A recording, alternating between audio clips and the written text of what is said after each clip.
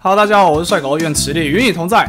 这支影片呢，我想快速的跟大家分享我看完《无限之战》的一点心得，然后跟一些建议吧。第一个建议就是先补《雷神索尔三》跟《星际异攻队二》，因为补完这两个电影的话，你可以更容易、更快的衔接这次的故事。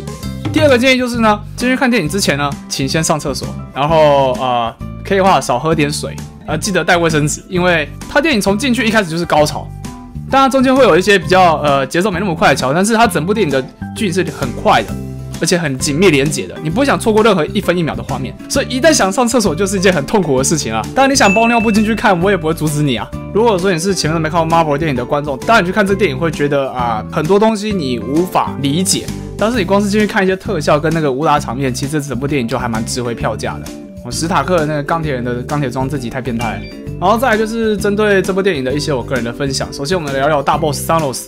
Thanos 这部电影的话，嗯，他是个有灵魂、有思想的反派。他不像以往的电影的反派，就只是说我是出来干坏事，没有，没他没这么肤浅。但我们知道，现在电影一直都希望可以做出一些，呃，都不一样的反派，会让你觉得你可以去想去理解他想什么的反派。但是 Thanos，我觉得是这阵子塑造最成功的反派。对他是个理想主义者，也是个伟大的萝莉控。桑诺斯第一次面对星爵那出戏，我觉得各位可以好好的观察一下，因为那那部分的情感表现，我觉得是桑诺斯第一次让我觉得他是一个有感情的人。所以这整部片，呃，官方自己说他是桑诺斯的电影，桑诺斯是主角，其实一点都不过分。还有很多观众啊关心的便当的问题，其实我真的不是很鼓励各位观众去猜谁会拿便当。呃，第一个原因就是像我美漫看很多，我知道美漫吃这种便当吃了又吐的情况是层出不穷，这没什么。重点是要看那便当拿的有没有意义。又不像那个呃勇士漫画便当拿了就拿了吐不出来，Marvel 跟 DC 不是这么一回事。呃，至于当时电影第一次发生这种大发便当，大家一定是很 shock。可是讲真的，我们看之前的文章的分析跟猜测，到我进去看电影院之后，所有的结果就是你根本猜不到，你可以不用猜，你就不要想太多，进去看电影就好。再我想跟大家快速分享一下，我觉得这部片的优缺点。这部片的优点，第一个就是它人物很多，然后场面很大，但是他做很好的分配，他没有太明显失衡的情况。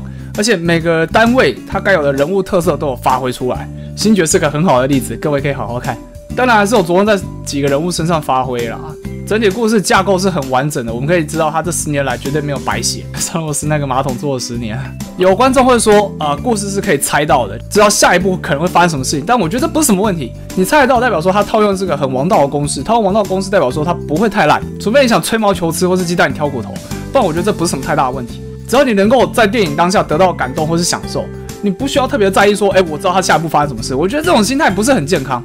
你今天是去享受电影的，为什么你要去解剖它，把自己放一个这么辛苦的位置？呃，有些时候当个容易满足的观众其实是还蛮幸福的啦。原本我看完《别人所有》第三集电影的时候，我觉得所有这角色成长幅度并没有我想象中那么大，甚至没有原作这么的精彩，就是《诸神黄昏》漫画那么精彩。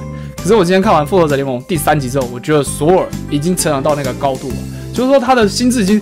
很成熟，他能够承担很大的压力跟责任，所以看完之后，我确实有得到一部分来自 跟那个呃《诸神黄昏》漫画给我那种满足感，有那种感觉出来，是很棒的。对所有这角色的话，我觉得是很很成功的。这部电影有个很明显，就是为了让电影可能故事好进行，有角色削弱或是增强的部分。增强大家不用猜了，史塔克一定是得增强，史塔克不增强，那大家都会觉得少一个很大的看点。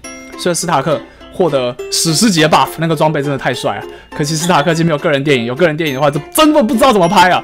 削弱部分其实还蛮合理的。浩克跟幻视，浩克的话我觉得是合情合理，因为浩克呢在雷神索尔第三集出现之后，他算是一个比较小孩子的角色，思想跟心智都不成熟，所以被桑罗斯狠狠修理一顿之后，就是躲起来了。我我原本打谁都无敌，结果我现在打不赢他，我不玩了。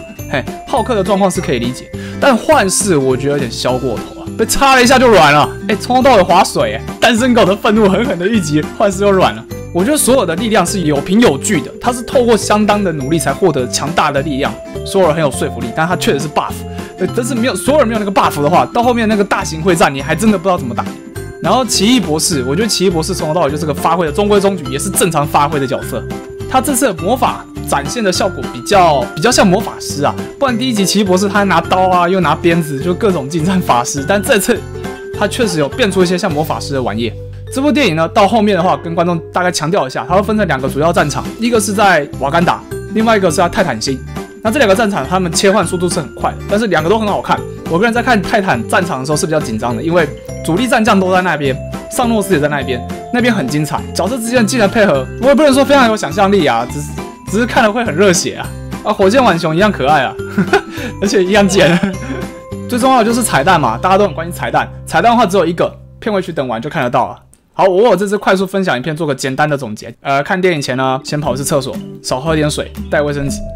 然后建议二刷，补完《星际攻队二》跟《猎神索尔三》，基本上就可以很轻松简单的入场看这部电影了。而这部电影的话，我个人觉得非常的好看，好看到让我的都很担心，哇，这王八蛋要干什么坏事？结论就是快去看电影。以上就是这次影片的内容，希望各位喜欢。如果喜欢我的影片呢，欢迎订阅我的频道，并且打开铃铛。